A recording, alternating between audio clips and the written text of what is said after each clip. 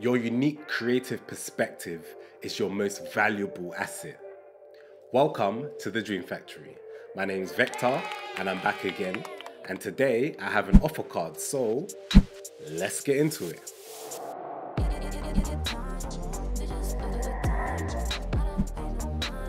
Your unique perspective is your most valuable asset. It's what sets you apart from the rest and connects you with the people who watch and listen to your work.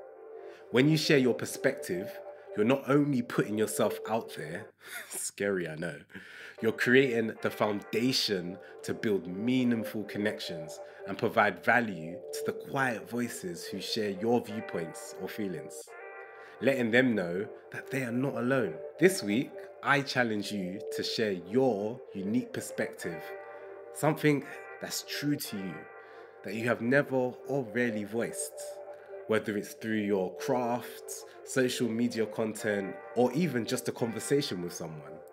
Let your perspective breathe and see how it resonates with people. Your perspective is your superpower, so use it to your advantage.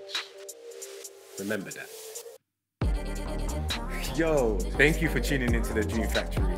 The fact that you made it this far, you might as well like and subscribe. In fact, if you're looking to take your creative growth to the next level, then you need to check out the Dream Factory web app. It's a place where you can track your creative growth over time and also connect with like minded people who share our passion for learning, motivation, and creativity. So, what are you waiting for? Oh, you want to watch another one of my videos? And remember, dreams don't work unless you do.